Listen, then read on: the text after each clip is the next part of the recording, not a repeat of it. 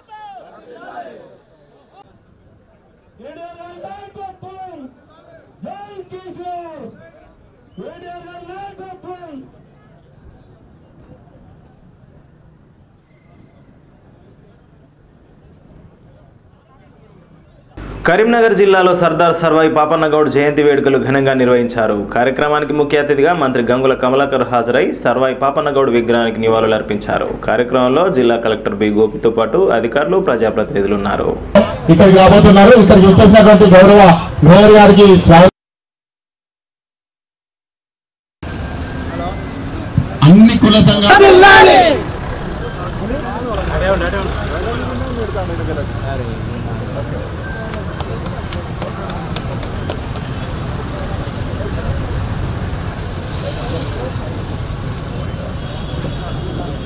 ఈరోజు సర్దార్ సర్వాయి పాపన్న గౌడ్ గారి యొక్క మూడు వందల డెబ్బై మూడు జయంతిని పురస్కరించుకొని ఉత్సవాల సందర్భంగా ఆనాడు సర్వై పాపన్న ఆనా ఆశయాలను నెరవేర్చి జయంతి శుభాకాంక్షలు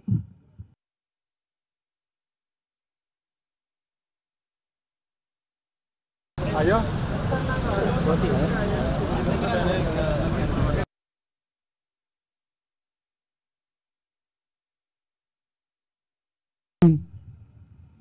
బీసీ మరియు సివిల్ సప్లై శాఖ మంత్రివర్యులు కమలాకర్ అన్న గారికి నగర ప్రథమ పౌరులు మేయర్ సునీలరావు గారికి జిల్లా కలెక్టర్ గారికి జిల్లా అడిషనల్ కలెక్టర్ లోకల్ బాడీ గారికి అడిషనల్ కలెక్టర్ గారు దేశాయ్ గారు మాజీ శాసనసభ్యులు సతన గౌడ్ గారు గౌరవ కార్పొరేటర్లు శారద గారు ఎడ్లశోక్ గారు ఐలందర్ యాదవ్ గారు బోయినపల్లి మండలంలో సర్దార్ సర్వాయి పాపన్న గౌడ్ మూడు వందల డెబ్బై మూడవ జయంతి వేడుకలు ఘనంగా నిర్వహించారు గౌడ సంఘం ఆధ్వర్యంలో నిర్వహించిన జయంతి కార్యక్రమంలో పాపన్న గౌడ్ విగ్రహానికి పూలమాలలు వేసి ఘనంగా నివాళులు అర్పించారు కార్యక్రమంలో మండల అధ్యక్షుడు బొంగని అశోక్ నాయకులు పులి లక్ష్మీపతి గౌడ్ గుంటి శంకర్ నాగుల శ్రీనివాస్ మెరుపుల గంగాధర్ నల్లగొండ అనిల్ కొండ కనకయ్య వికృతి ఆంజనేయులు ముద్దం ప్రసాద్ బండారి మహేందర్ మెరుపుల జలంధర్ తదితరులు పాల్గొన్నారు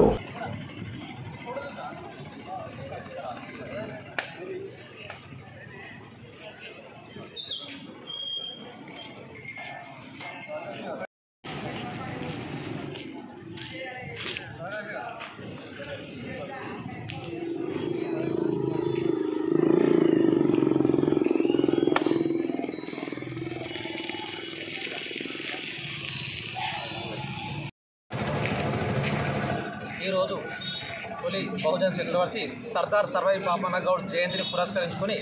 బోయినపల్లి మండల కేంద్రంలో జయంతి ఉత్సవాలను నిర్వహించడం జరుగుతుంది అధ్యక్షులు మండల అధ్యక్షులు బొమ్మన అశోక్ గౌడ్ గారు ప్రధాన కార్యదర్శి శ్రీనివాస్ గారు మరియు గౌడ సంఘ సభ్యులందరికీ ఈరోజు జయంతి శుభాకాంక్షలు తెలియజేసుకున్నాం అదేవిధంగా బహుజన చక్రవర్తి పన్నెండు మంది యోధులతోటి వీరులతోటి పన్నెండు వేల మంది సైన్యాన్ని సమకూర్చుకొని గోలకొండ కోట మీద తన జెండాను ఎగరవేసిన వ్యక్తి అతను ఒక సామ్రాటు సర్వై పాపన గౌడ్ అదేవిధంగా వీరి యొక్క చరిత్రను గుర్తించిన ప్రభుత్వము అధికారికంగా ప్రభుత్వ పరంగా జయంతి నిర్వహించాలని సూచించినందుకు ధన్యవాదాలు తెలియజేస్తున్నాను శ్రీ సర్దార్ సర్వాయి బాబన్న మూడు వందల డెబ్బై మూడవ జయంతి సందర్భంగా రాజన్న సిరిసిల్ల జిల్లా బోయిన్పల్లి మండల కేంద్రంలో మండల గౌడ సంఘం ఆధ్వర్యంలో ఘనంగా నిర్వహించడం జరిగింది ఈరోజు సర్దార్ సర్వై పాపన్న గౌడ్ గారి చరిత్ర మూడు వందల డెబ్బై మూడు సంవత్సరాల క్రితం నుంచి కనుమరుగైందంటే ఈ ప్రభుత్వాలు గుర్తించకపోవడం వల్లనే ఖచ్చితంగా పోరాట యోధుడిని దొక్కిపెట్టిన విషయం దాదాపుగా ఈ పెత్తందారులు జాగిందారులు జమీందారులు ఈ చరిత్రను దొక్కిపెట్టడం జరిగింది ఇన్ని రోజులు ఇప్పటికైనా ప్రభుత్వం అధికారికంగా సర్దార్ సర్వై గౌడ్ గారి జయంతిని నిర్వహిస్తున్నందుకు ప్రభుత్వానికి ధన్యవాదాలు తెలియజేస్తున్నాను అలాగే యువత ప్రతి ఒక్కరు బహుజనులందరినీ కలుపుకొని సర్దార్ సర్వై బాబన్న గౌడ్ ఆశయాల దిశగా అడుగులు వేయాలని ఖచ్చితంగా మన గ్రామ పంచాయతీ సభ్యుల నుంచి వెళ్ళి పార్లమెంట్ సభ్యుల వరకు ఎవరైతే బహుజనులందరినీ కలుపుకొని మనం రాజ్యాధికారం దిశగా వెళ్ళాలని ఇవి మనం ఏదన్నా అవసరం ఉంటే ప్రభుత్వాన్ని అడుక్కుని కాకుండా మనమే ప్రభుత్వానికి ఇచ్చేటట్టు ఖచ్చితంగా సర్దార్ సర్వై పాపన్న ఆశయాల కొనసాగింపుగా మనం ఉండాలని నేను అందరికీ ఈ సభాముఖంగా మనవి చేస్తున్నాను ఈ సందర్భంగా స్థానిక సర్పంచ్ గారికి మరియు మా గౌడ కుల బంధువులందరికీ హృదయపూర్వక నమస్కారాలు తెలియజేస్తున్నాను జై గౌడన్న సర్దార్ సర్వాయి పాపన్న గౌడ్ గారి మూడు వందల డెబ్బై రెండవ జయంతి డెబ్బై మూడవ జయంతి కార్యక్రమాన్ని వెల్పిల్ మండల కేంద్రంలో ఘనంగా నిర్వహించడం జరిగింది ఈ కార్యక్రమంలో పాల్గొన్నటువంటి గౌడ సంఘం జిల్లా నాయకులు అదేవిధంగా మండల నాయకులు మండల పెద్దలు వివిధ హోదాలో ఉన్నటువంటి అందరికీ కూడా పేరు పేరున కృతజ్ఞత తెలియజేస్తూ ఉన్నాను సర్వై పాపన్న సర్వై పాపన్న గౌడ్ గారు బహుజనుల హక్కుల సాధన కోసం బహుజనుల ఐక్యత కోసము మహాత్మా జ్యోతిరావు పూలే కంటే ముందే సమ సమాజ నిర్మాణం కోసం మూడు వందల యాభై సంవత్సరాల క్రితమే పోరాటం చేయడం జరిగింది అదేవిధంగా గౌడల హక్కుల కోసం కూడా తను నిరంతర పోరాటం చేయడం జరిగింది ఆయన యొక్క ఉద్యమ పాటలను అదేవిధంగా ఆయన పోరాట పోరాటం జయంతి కార్యక్రమాలు కానీ జయంతి కార్యక్రమాన్ని ప్రభుత్వం అధికారికంగా నిర్వహిస్తూ ఉంది అదేవిధంగా అన్ని మండల కేంద్రంలో కానీ అదేవిధంగా పట్టణ కేంద్రాల్లో కానీ సర్వై పాపన్న గౌడ్ గారి విగ్రహాలను ఏర్పాటు చేయడానికి గౌడన్లు కూడా ఈ ఈ మధ్యకాలంలోనే అందరూ కూడా ఐక్యతగా ముందుకు సాగుతున్నారు పైన సంవత్సరం కూడా బోయినపల్లి మండల కేంద్రంలో ఏర్పాటు చేయాలనే ఆలోచనలు కూడా మా దృష్టికి తీసుకొచ్చిండ్రు ఎక్కడ కానీ సర్వాయి పాపన్న గౌడ్ గారి ఉద్యమ ఉద్యమకారులను ప్రభుత్వం ఎట్లయితే గుర్తిస్తుందో మనందరం కూడా వారి ఆచరణను ముందుకు తీసుకుపోవాలి వారి సాధన యొక్క మధ్యమానేరు జలాశయంలో పర్యాటక శాఖ ఆధ్వర్యంలో ఏర్పాటు చేసిన బోట్ సేవలను మంత్రి శ్రీనివాస్ గౌడ్తో కలిసి మంత్రి కేటీఆర్ ప్రారంభించారు ప్రజాప్రతినిధులతో కలిసి ప్రయాణం చేస్తూ మంత్రి కేటీఆర్ స్వయంగా బోటు నడిపారు ఆయన వెంట జిల్లా కలెక్టర్ అనురాగ్ జయంతితో పాటు SP Akhil Mahajan press TESCAB chairman Konduru Ravinder Rao ZP chairperson municipal chairperson తదితరులు పాల్గొన్నారు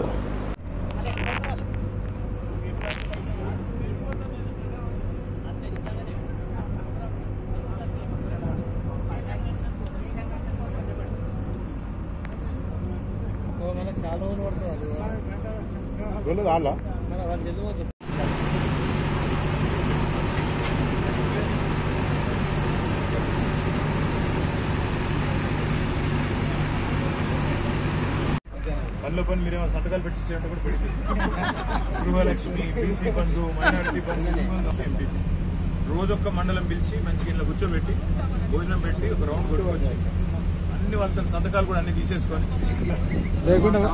లేకపోతే ఇక్కడే వదిలేసి మీరు మంచిగా ఉంటే లాస్ట్ వరకు పద్ధతి ఉంటే మంచిగా ఉంటే లాస్ట్ బాలు మొదలు బాలు మీరు కూడా విలేకరులు పనిలో పని మీరు సంతకాలు పెట్టి కూడా పెడితే గృహలక్ష్మి బీసీ బంధు మైనారిటీ బంధు రోజొక్క మండలం పిలిచి మంచి ఇంట్లో కూర్చోబెట్టి భోజనం పెట్టి ఒక రౌండ్ కూడా కొట్టుకొచ్చి అన్ని వాళ్ళతో సంతకాలు కూడా అన్ని తీసేసుకొని లేకపోతే ఇక్కడే ఉంది మీరు మంచిగా ఉంటే లాస్ట్ వరకు పద్ధతి ఉంటే మంచిగా ఉంటే లాస్ట్ ఫస్ట్ మాది తర్వాత బాలు బాలు మీరు కూడా విలేకరణ కూడా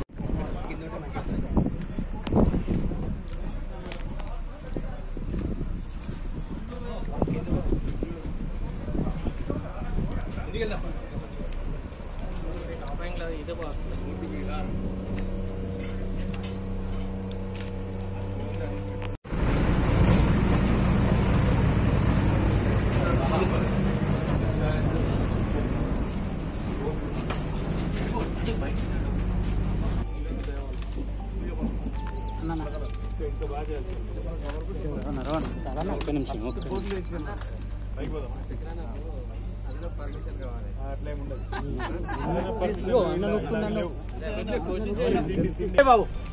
మీరందరూ కూర్చుంటే కూర్చోండి ఆయన ఫోటోగ్రాఫర్లు నడపాలని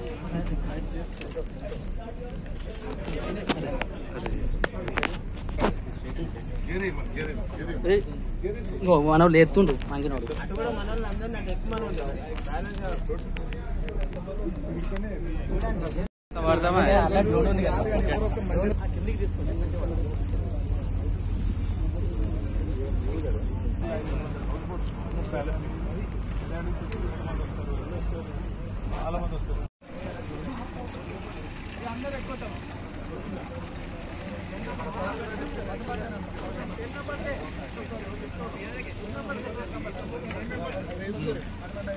అయిపోయింది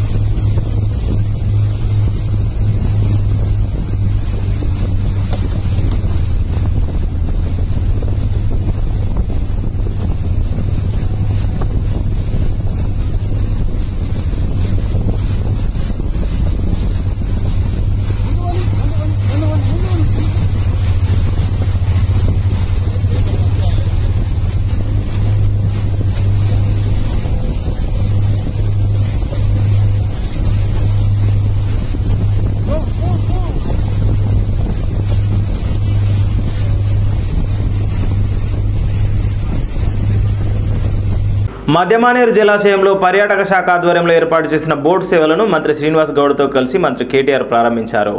ప్రజాప్రతినిధులతో కలిసి ప్రయాణం చేస్తూ మంత్రి కేటీఆర్ స్వయంగా బోటు నడిపారు ఆయన వెంట జిల్లా కలెక్టర్ అనురాగ్ జయంతితో పాటు SP Akhil Mahajan press TESCAB chairman Konduru Ravinder Rao ZP chairperson municipal chairperson తదితరులు పాల్గొన్నారు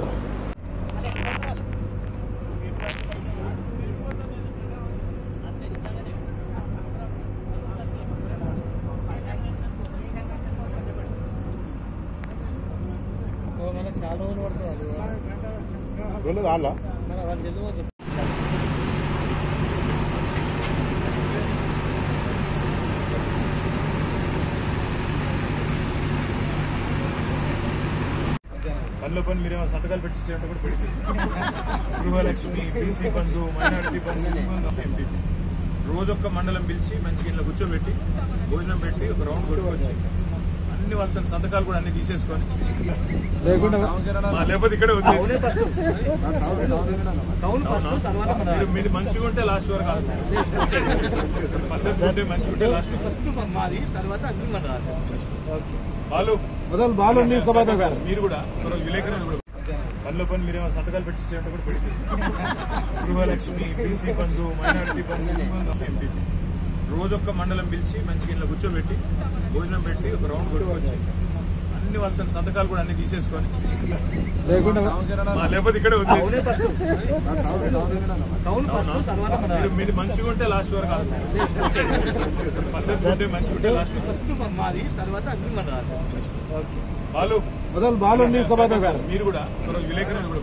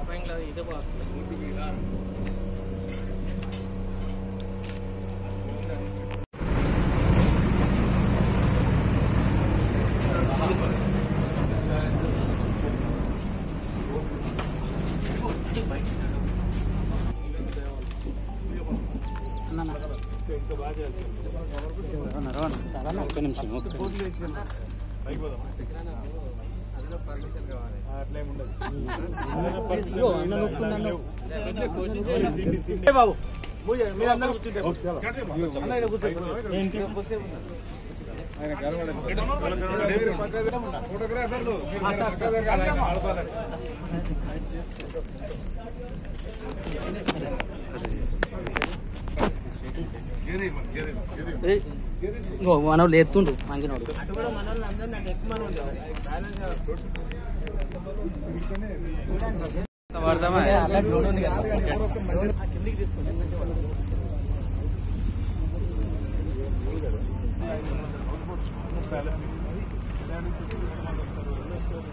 చాలా మంది వస్తారు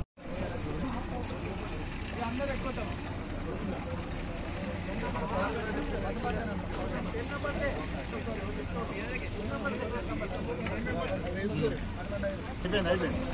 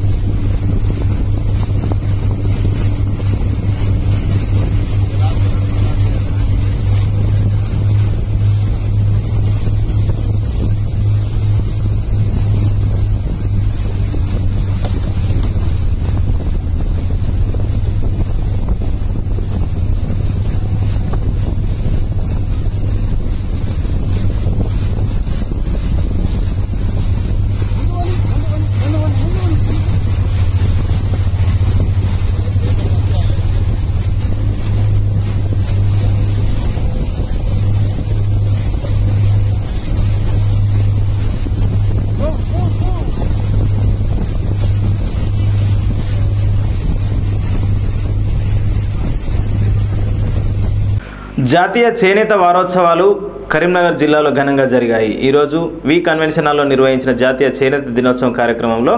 ముఖ్య అతిథిగా మంత్రి గంగుల కమలాకర్ హాజరై పాల్గొని మాట్లాడారు కార్యక్రమంలో ఎమ్మెల్సీలు L Ramana Kaushik Reddy textile development corporation chairman Guduru Praveen నగర మేయర్ సునీల్ రావు ప్రజాప్రతినిధులు అధికారులు పాల్గొన్నారు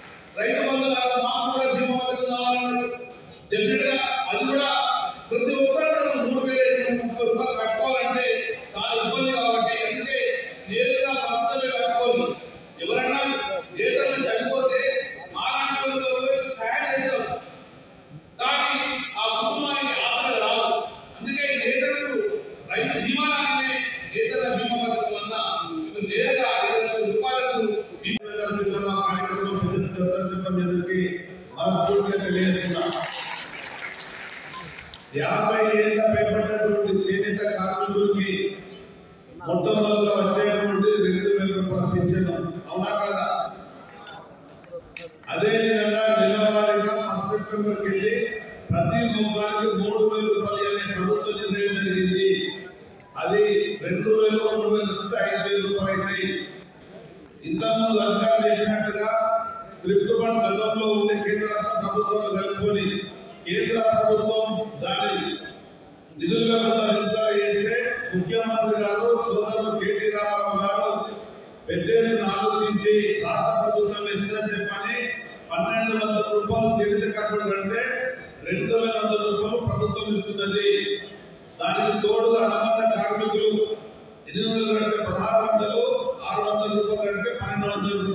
విధంగా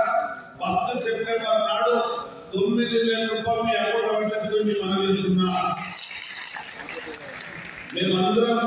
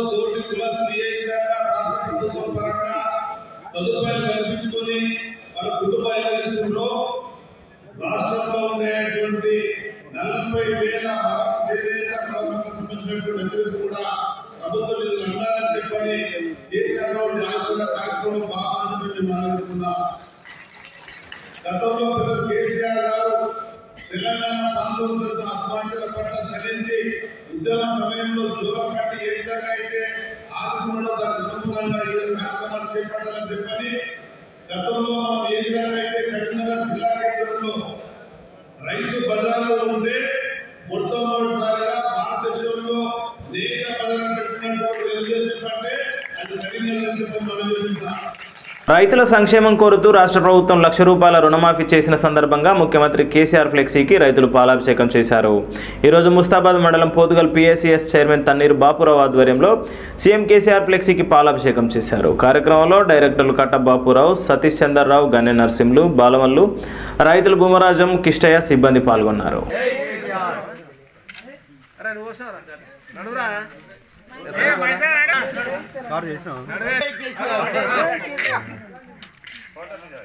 ఓకే రైట్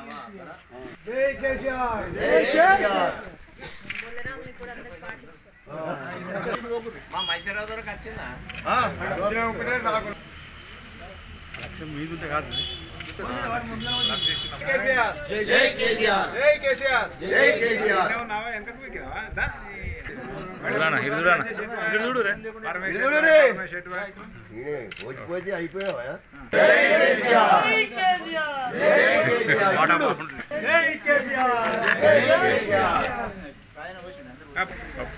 जय के सी आर जय के सी आर जय के सी आर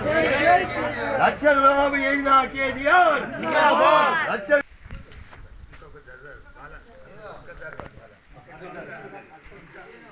అవునా ఉండండి ఏం కాదు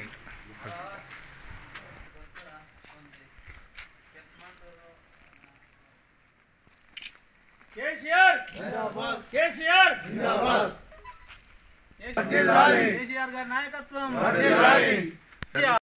రైతు బాంధవుడు మనసున్న ముఖ్యమంత్రి గౌరవ కె చంద్రశేఖరరావు గారు రైతులకు రెండు వేల పద్దెనిమిదిలో హామీ ఇచ్చినటువంటి మాట ప్రకారం లక్ష రూపాయల లోపల ఉన్నటువంటి రైతులందరికీ రుణమాఫీ చేయడం జరిగింది అందులో భాగంగా పోతుగల్ సింగిల్ విండో ఆధ్వర్యంలో ఈరోజు ముఖ్యమంత్రి గారికి పాలాభిషేకం చేయడం జరిగింది ఇందులో పెద్ద ఎత్తున రైతాన్నలందరూ పాల్గొన్నారు మా పాలకవర్గం కూడా పాల్గొంది పోతుగల్ సింగిల్ విండోలో ఆల్రెడీ ఐదు వందల అరవై రెండు మంది రైతులకు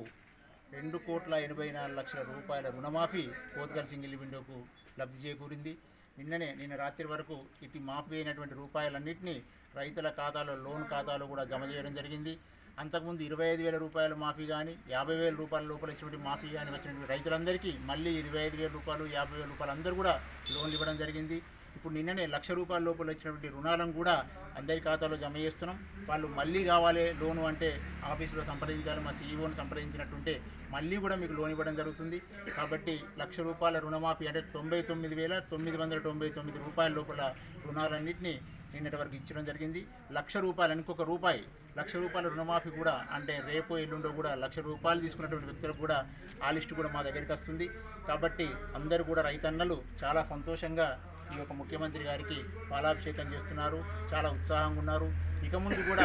పోతుగల్ సింగిల్ విండో ఆధ్వర్యంలో రైతన్నలకు ఎప్పుడు కూడా రైతన్నల అభివృద్ధి ఎలా చేయాలి రైతన్నలకు సేవలు ఎలా చేయాలి అనేటువంటి ఎప్పటికప్పుడు మా పాలకవర్గం కొత్త అభివృద్ధిని కొత్త నానుడిని తీసుకుపోవడానికి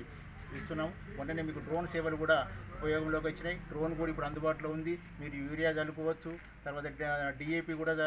అవసరం ఉన్న డిఏపి కూడా లిక్విడ్ రూపంగా వచ్చింది తర్వాత పురుగు మందులు కూడా లిక్విడ్ రూపంగా వచ్చినాయి రైతన్నలందరూ కూడా డ్రోన్ కావాలంటే కూడా ఇప్పుడు మా దగ్గర సిద్ధంగా ఉంది ఎకరాకు మనము